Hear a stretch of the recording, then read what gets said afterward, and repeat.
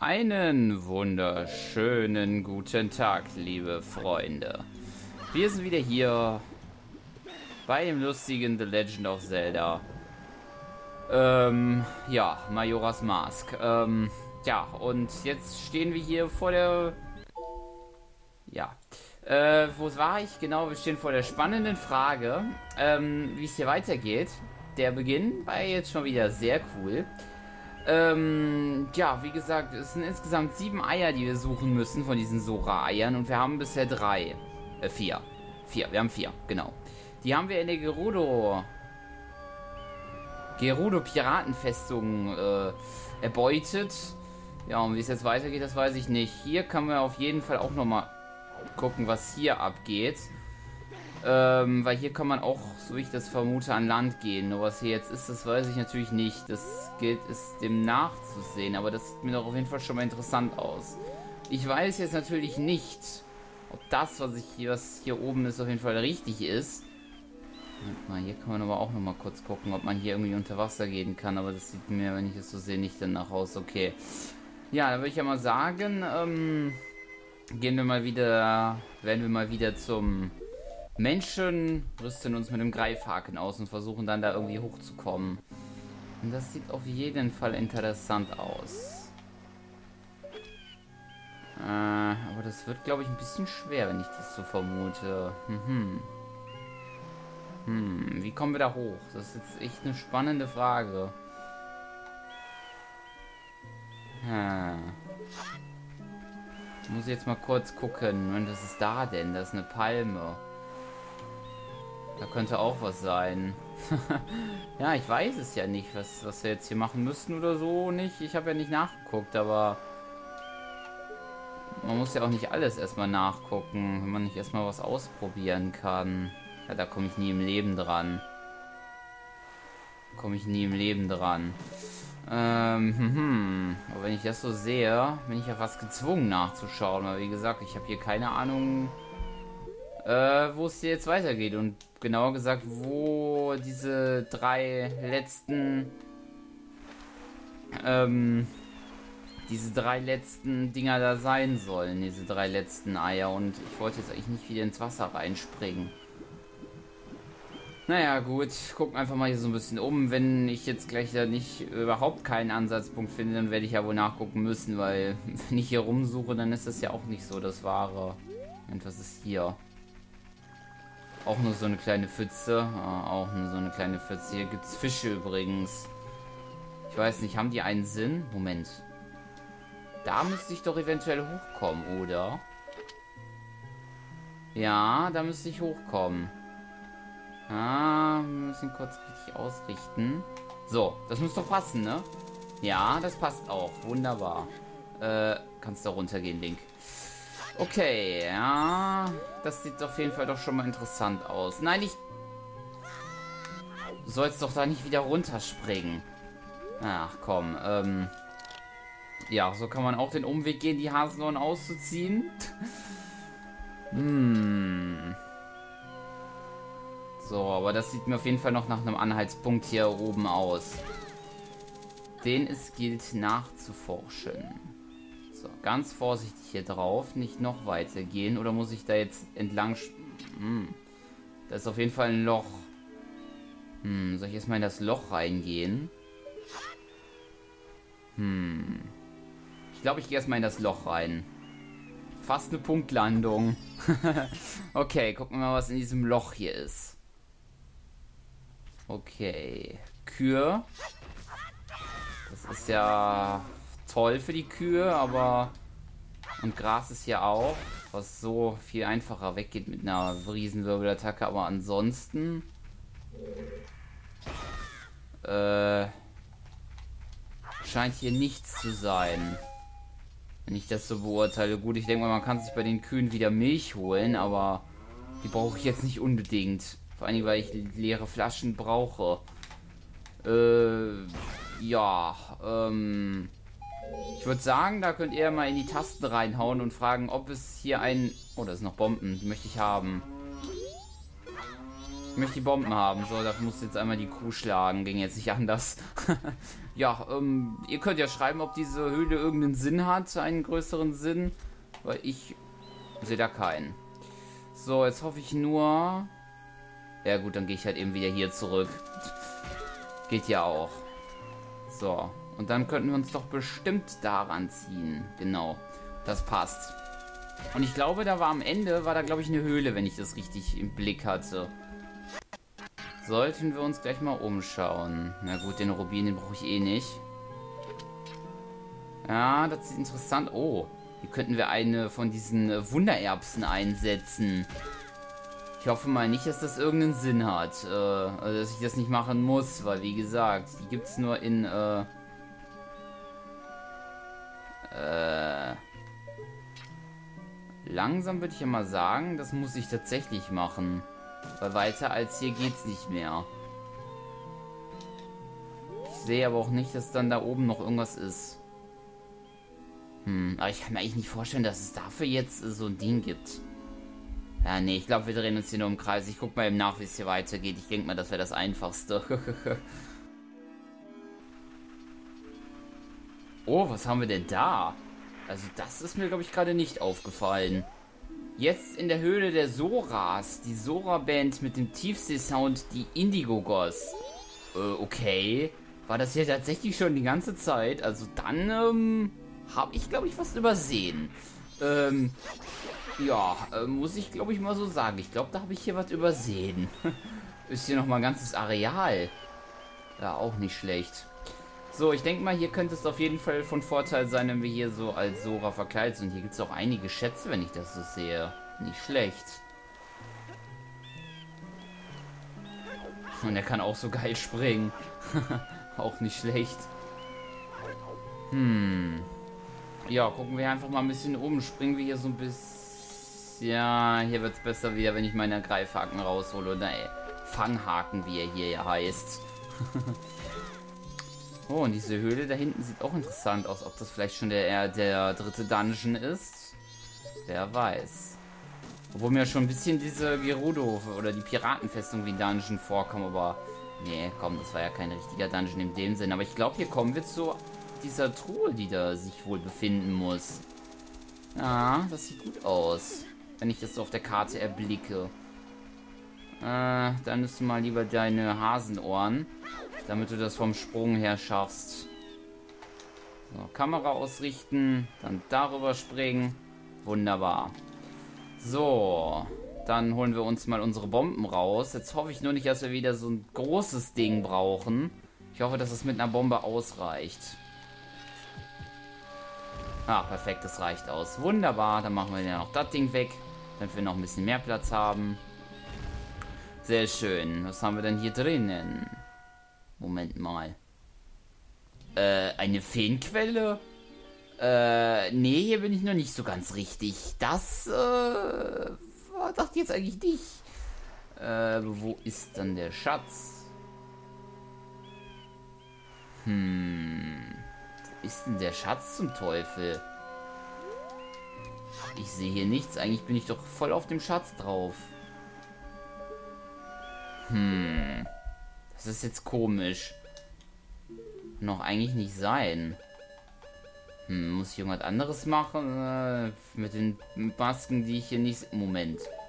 Was macht die denn nochmal? Trage sie mit C, um deine Nase zu sensibilisieren. Äh, ich probiere das jetzt einfach mal. Ich glaube aber nicht, dass...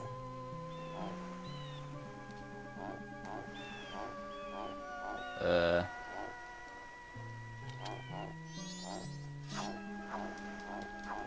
Nö. Keine Ahnung. Ich dachte jetzt, jetzt hätte ich hier das Mega Secret gefunden, aber irgendwie so nicht. Ich lege jetzt nochmal hier eine Bombe hin, die mir vielleicht so ein Loch zeigt, aber nö. Keine Ahnung. Da bin ich wohl auch auf eure Kommentare gespannt. Gut, ähm, ja, kann ich wieder nicht sagen, was hier wäre oder nicht wäre. Gucken wir uns mal hier weiter um, hier in dieser Sora-Höhle wohl anscheinend. So. Oder Moment mal, ist hier unten vielleicht? Ja, drunter vielleicht was. Da habe ich ja auch noch nicht geguckt. Vielleicht hier unten. Äh. Ah, hier ist auf jeden Fall... Hier, ja, das scheint die Truhe zu sein. Okay, ich habe sie doch gefunden, die Truhe. Dann ist es die hier. Aber das scheint mir auch nur eine Billigtruhe zu sein. Ja, ist es auch. Geld brauche ich keine, brauche ich mich nicht mit Sorge zu quälen. Geld habe ich genug. naja. Äh, nicht schon wieder, aber jetzt kann ich euch mal den Schild hier zeigen, den ich jetzt hier neu gefunden habe, wenn da noch mal Gegner meinen, mich zu nerven. So, aber was ist jetzt noch da hinten? Das möchte ich mal auskundschaften, was da hinten ist. Da sollen ja auch noch zwei Truhen sein. Ich würde sagen, das gucken wir uns noch an, bevor wir da in dieser Mega-Höhle oder was immer das auch darstellen soll, in der Mitte hingehen. So, aber ich denke mal, an Land sind wir als, als Mensch schneller. Deswegen machen wir das so auf dem Land. Okay, diese nervigen Kelleranas, die gehen einfach schnell beiseite. Und hier könnte auch wieder eine Truhe sein, aber ich sehe schon wieder nichts.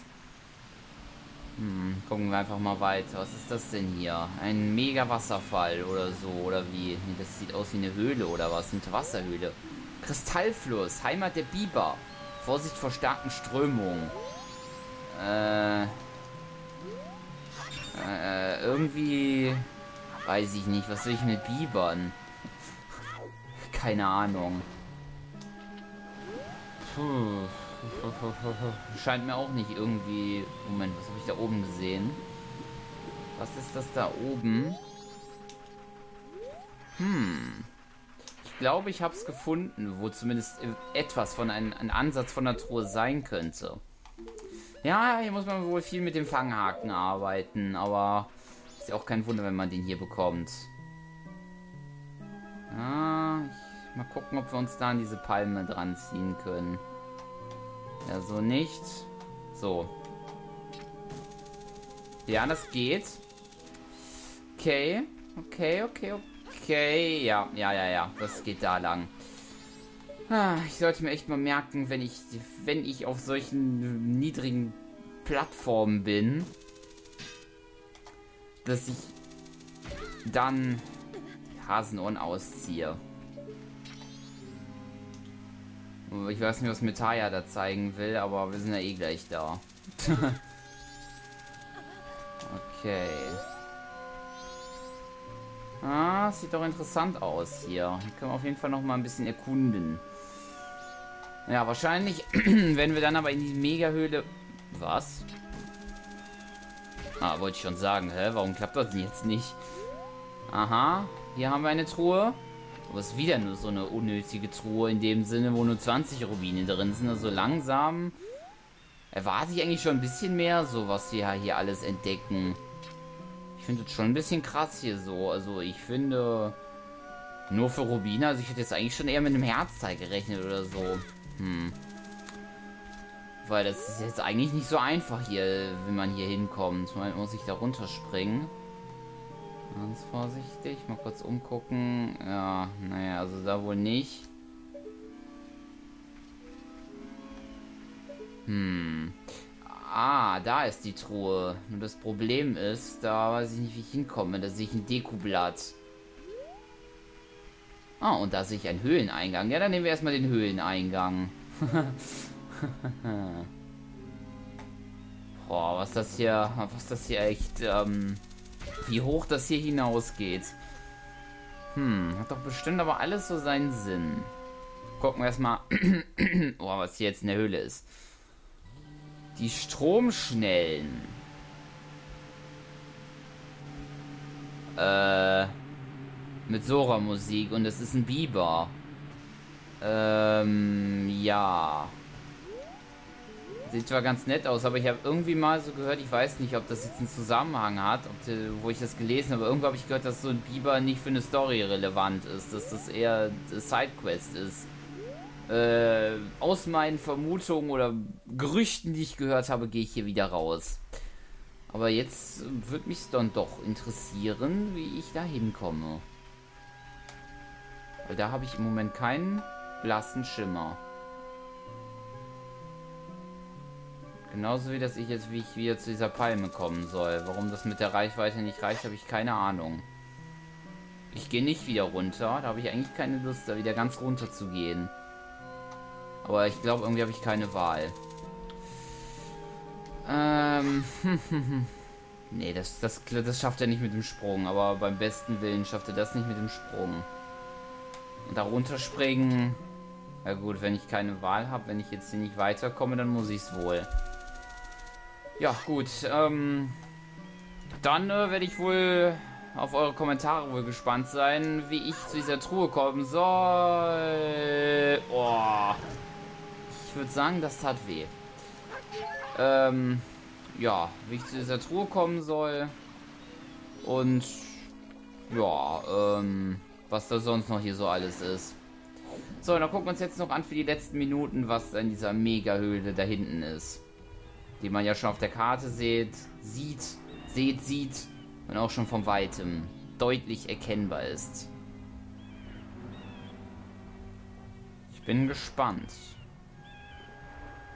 Aber ich muss sagen, vom generell gefällt mir dieser ähm, die Gegend hier unter Wasser sehr gut. Und mittlerweile habe ich das auch drauf, mich nicht mehr von denen nerven zu lassen. Mehr oder weniger zumindest. So. Aha, was haben wir denn hier? Erstmal lesen. Die Höhle der Soras. Es probt die Sora-Band mit dem Tiefsee-Sound die Indigos. Okay. Ich dachte aber, wir wären der Gitarrist und die äh, könnten nicht proben. Wow, sieht aber schön aus hier. Höhle der Soras.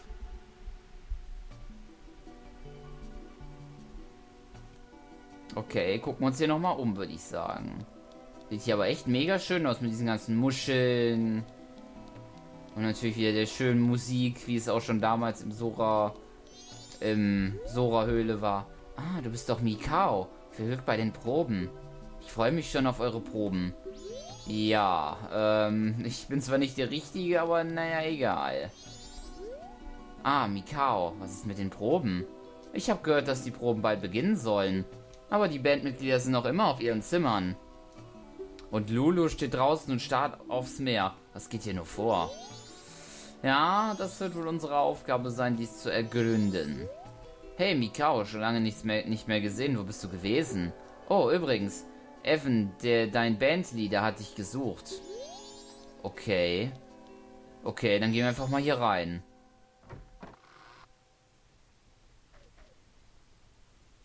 Okay. Mikao, wo warst du? Ich war besorgt. Das Konzert steht vor der Tür, aber die ganze Band hat die Hosen voll. Ich wette, das hast du nicht gewusst, oder? Vor allem Lulu, ich habe ihre Stimme schon lange nicht mehr gehört. Normalerweise ist sie immer bei guter Laune. Oh, oh, ich frage mich, ob das alles mit den Veränderungen des Meeres zu tun hat. Um ehrlich zu sein, ich weiß ein wenig über Lulus Geheimnis. Soll ich dir erzählen? Ja, sprich mal. Man sagt, der Ozean verändert sich, weil mit dem Schädelbuchtempel etwas nicht in Ordnung sein soll. Und man sagt auch, dass aufgrund dessen dem Nachfahren, der den Tempel beschützt, etwas Schlimmes widerfahren wird. Verstehst du das? Und Lolo hat sich verändert. Vielleicht ist sie der... Wer weiß. Äh, ja, ähm, das ist ja ganz schick, ihr, eure Probleme, aber, naja. Geh einfach weiter. Mikao, willst du zu Japas? Ihr macht sicher wieder eine Jam-Session, nicht wahr? Ich kann es kaum erwarten. Okay, hat der weniger Bedenken oder... Keine Ahnung, wir haben ja schon von dieser Lulu gehört. Ach, auch ein Gitarrist oder so. ich glaube, der hat aber keine Lust mit mir zu reden, wenn ich das so sehe. Okay, dann, ähm, tja, dann eben nicht. Kann aber gut spielen. So wie wir. gut, ähm, so. Ja gut, ich möchte jetzt nicht jeden einzelnen Raum abklappern, weil wie gesagt, das bringt ja auch nichts mehr, aber vielleicht sollten wir noch zu dieser Lulu. Ist sie vielleicht hier? Aber ich bin gerade beschäftigt. Ah, Mikau, das mich erschreckt. Äh, ich, äh, Lulu hat sich die letzten Tage ein wenig eigenartig benommen. Ich habe mich sogar gesorgt. Ich habe nicht ihr nachspioniert. Ich bin kein Spanner und auch keine derartige schleimige Qualle oder so. Äh, mir fällt gerade ein, dass ich noch dringend was erledigen muss. Ähm, spätestens denn schon, oh, ähm, also ich muss da mal weiter. Äh, tschüss. Ja, das war ja sehr merkwürdig, wie der sich verhalten hat, wenn ihr mich fragt. Äh, was macht ein Deko hier und was macht ein Herzteil hier? Danke, dass du vorbeischaust. Da ich nur mit Soras wandle, bist du als Kunde herzlich willkommen. Ist das dein Zimmer? Diese Seeluft tut mir, tut mir nicht gut. Deshalb würde ich gerne dein Zimmer mieten. Ist hier ein Wirbelsturm durchgezogen? Dafür kann ich nun wirklich nichts. Auch das ist unser Zimmer. Ich verkaufe dir ein grünes Elixier für 40 Rubine. Willst du die Rubine gut anlegen? Nee, lass mal. Das ist schade, aber wenn du deine Meinung änderst, komm ruhig wieder. Ja, und du kannst dich gerne eigentlich verziehen, wenn das unser, wenn das mal, also wenn das das Zimmer von unserem leider dahingeschiedenen ähm, Freund ist im Moment mal. Geht das? Das wäre ja mega geil.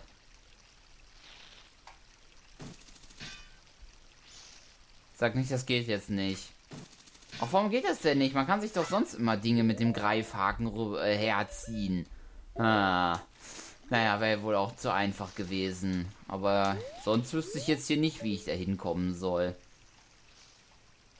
Hm, nö. Wird wohl vielleicht noch irgendwie anders seinen Sinn haben.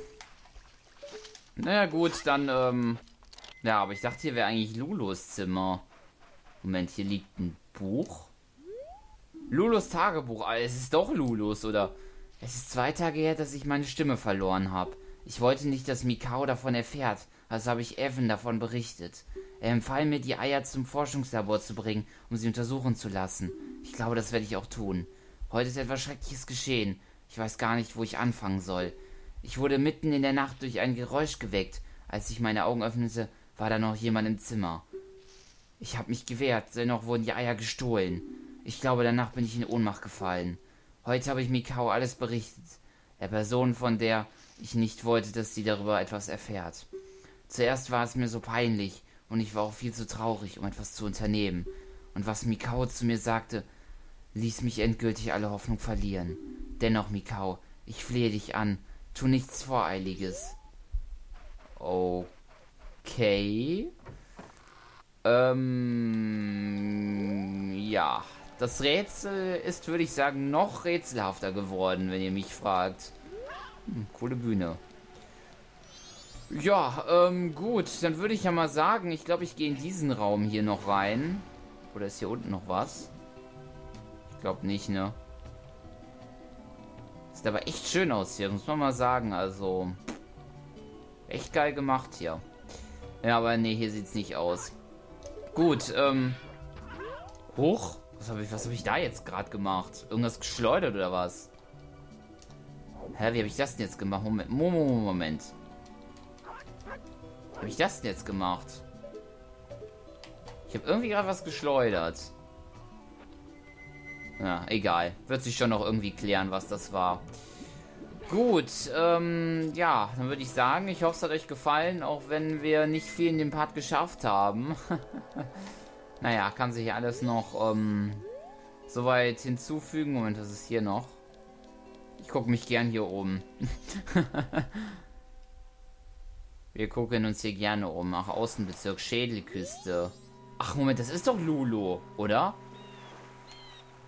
Ja, ich glaube, das ist sie. Okay. Ja, was jetzt ihr großes Geheimnis ist, das werden wir im nächsten Part erfahren. Aber vorher würde ich sagen, ähm, machen wir noch eben hier einen Teleporter hier, damit wir uns jedes Mal hier wieder hin hinporten können. Haben wir immerhin, haben wir immerhin schon mal den Grundstein für den nächsten Part gelegt. Gut, also, bis dann und tschüss. Euer Jake.